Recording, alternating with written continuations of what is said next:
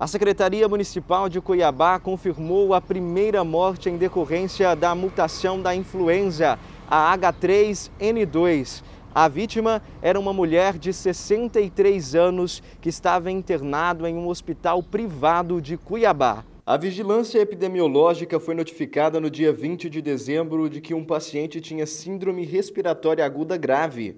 A morte aconteceu na última quinta-feira, dia 30 de dezembro de 2021, mas a confirmação de que se tratava do vírus H3N2 aconteceu na terça-feira, dia 4 de janeiro, após o recebimento do laudo do exame e confirmação do Laboratório Central do Estado. É importante ressaltar que a síndrome gripal é transmitida pelas vias respiratórias da mesma forma que a Covid-19.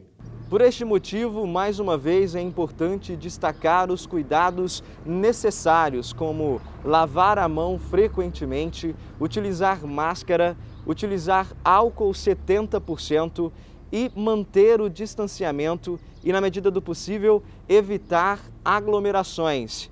Vale ressaltar ainda a importância da vacinação, não só contra a Covid, mas também contra a influenza.